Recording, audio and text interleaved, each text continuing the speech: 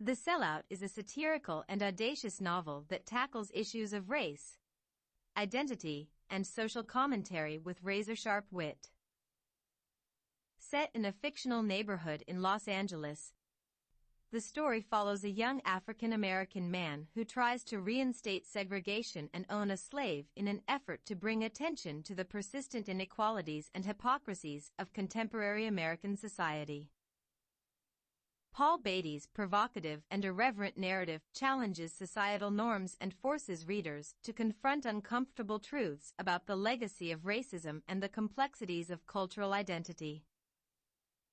The unnamed narrator is an African-American man who embarks on a mission to reinstate slavery and segregate a fictional neighborhood in Los Angeles. His satirical and provocative actions challenge racial dynamics and societal norms. Lincoln in the Bardo is a unique and inventive novel that blends historical events with elements of the supernatural.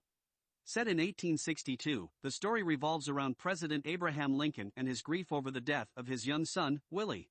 George Saunders explores the liminal space between life and death, as Willie finds himself in a transitional realm known as the Bardo, populated by a chorus of ghosts. Through a collage of voices and perspectives, the novel explores themes of loss, redemption, and the power of human connection. With its innovative narrative style and profound exploration of love and mortality, Lincoln in the Bardo is a hauntingly beautiful literary work. The novel is set during the Civil War and explores Lincoln's grief over the death of his young son, Willie. His mourning and attempts to come to terms with loss are central to the narrative. Various spirits are in the Bardo. The Bardo is a transitional state between life and death. The novel features a chorus of spirits who reflect on their own lives, deaths, and regrets. Milkman is a mesmerizing and atmospheric novel set in Northern Ireland during the Troubles. Anna Burns tells the story of an unnamed young woman known as Middle Sister who becomes the target of rumors and gossip when she is seen spending time with a mysterious older man known as the Milkman. In a society where political tensions and sectarian divisions are rife, Middle Sister finds herself navigating a web of social expectations, fear, and surveillance. Through her introspective and observant voice, the novel delves into themes of identity, community, and the cost of remaining silent in the face of oppression. Milkman offers a compelling exploration of personal agency and resilience in a society gripped by fear and paranoia. Middle Sister, the unnamed protagonist, is an 18-year-old girl living in an unnamed city during the Troubles in Northern Ireland. She navigates a complex web of social and political tensions and becomes the target of unwanted attention when she is believed to be involved with a senior paramilitary figure known as the Milkman. Girl, Woman, Other is a vibrant and powerful novel that celebrates the interconnected lives of 12 characters, predominantly black women, in contemporary Britain. Bernardine Evaristo weaves together their stories, spanning generations, backgrounds, and experiences. Through their diverse perspectives, the novel explores themes of identity, race, sexuality, and the complexities of modern life. Evaristo's lyrical prose and distinctive narrative style capture the unique voices and struggles of each character, while also shedding light on broader societal issues. Girl, Woman, Other is a testament to the resilience, strength, and beauty found in the rich tapestry of human experiences. Amma is a middle-aged lesbian playwright and activist who challenges societal norms and confronts issues of race, gender, and sexuality in her work. Yaz is Amma's daughter, a university student exploring her identity and aspirations in a changing world. Dominique is a talented and ambitious playwright who struggles with self-doubt and the pressures of success. The Testaments is the highly anticipated sequel to Margaret Atwood's dystopian masterpiece, The Handmaid's Tale.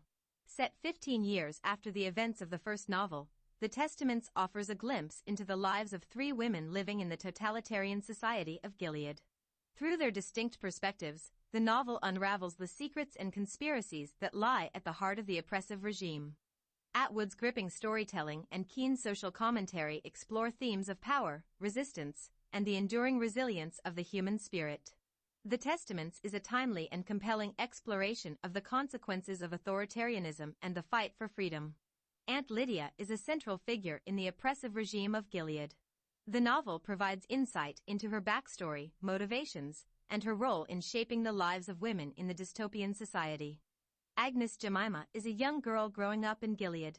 Through her perspective, readers witness the indoctrination and restrictive upbringing enforced by the regime. Shuggie Bain is a poignant and heart-wrenching debut novel that chronicles the life of a young boy growing up in 1980s working-class Glasgow.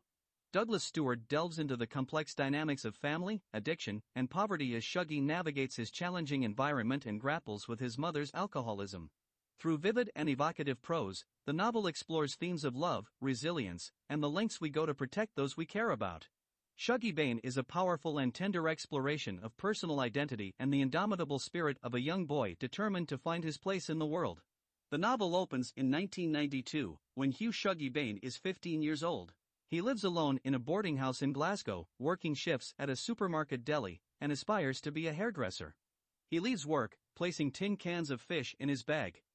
In 1981, five-year-old Shuggie is living in a tenement flat in Sighthill with his maternal grandparents, Wullie and Lizzie, his mother, Agnes Bain, his father, Hugh Shug Bain, his half-brother, Leek, and his half-sister, Catherine. The Promise is a contemplative and haunting novel set in post-apartheid South Africa.